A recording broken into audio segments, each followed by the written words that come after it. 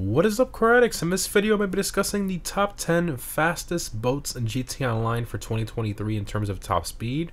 Now in my last video we did top 10 fastest helicopters and a lot of you guys wanted to see me make a video on the top 10 fastest boats as well. Now these top speeds are chosen based on Broughy1322's accurate top speed testing in a controlled environment for every single boat, which is honestly the best way to accurately compare these top speeds. I will leave a link to his channel down below if you haven't subscribed to him, and you really should subscribe to him. He is undoubtedly the king of car testing for GTA by far. Also keep in mind that currently in GTA Online we cannot customize boats, so these are all Pegasus vehicles with no customization.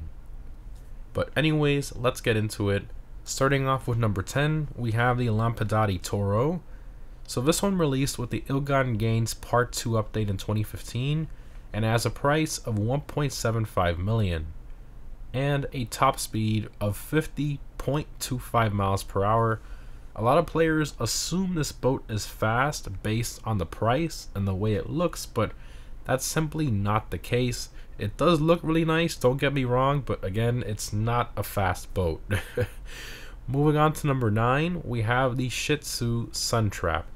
So this one has a normal price of about 25,000, so very cheap since it's an OG boat and has a top speed of exactly 51 miles an hour. A pretty average boat, nothing really too crazy or different about it.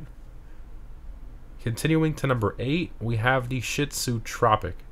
So this one has a price of only 22,000, again very cheap because it's an OG boat and has a top speed of 63.25 miles per hour, which is pretty quick, breaking into about 60 mile per hour range. It's not bad, but again, just like the Suntrap, both of these are pretty generic looking boats. Next up onto number 7, we have the Shitzu Squalo. So this one has a price of just under 200,000 and a top speed of 65.75 miles per hour, which is pretty quick. Plus, I think it's definitely one of the better looking OG boats. Although I do think at almost 200,000 it's just a bit too pricey for an OG boat that doesn't really look all that special.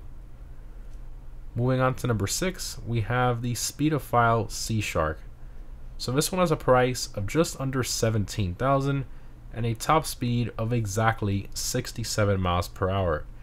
So it's really the only jet ski in game. It spawns on most beaches around the map for free so there's really no need to buy this one or even most of the OG boats for that matter since they readily spawn around certain parts of the map. Continuing to number 5, we have the Pegassi Speeder.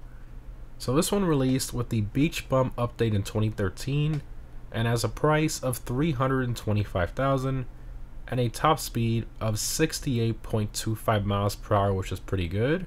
Really close to that 70 mile per hour mark I think it's a really good looking boat with the wood texture and everything it has on it, but again, I do feel over 300,000 it is a bit pricey.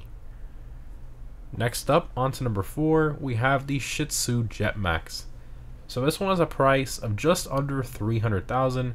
It's one of my favorite OG boats in the game in terms of styling, and it's also the second fastest OG boat in the game with a top speed of exactly 70 miles an hour making it the first boat to break into that 70 mile per hour barrier on this list. Moving on to number three, we have the Nagasaki weaponized dinghy. So this one released with the Cayo Perico Heist DLC and has a normal price of 1.85 million and a top speed of 71.5 miles per hour, which is pretty quick. That makes it the fastest weaponized boat in the game. Continuing to number two, we have the regular dinghy. So this one has a normal price of about 166,000 and a trade price of 125,000 and a top speed of 71.5 miles per hour, which is the exact same top speed as the weaponized dinghy. However, the weaponized dinghy does weigh a little more, meaning the regular one is slightly quicker for acceleration and handling as well, Plus, that also means that the regular dinghy is the fastest OG boat in the game, and also honestly the best value as well. 166,000 is a steal for a boat that's this quick.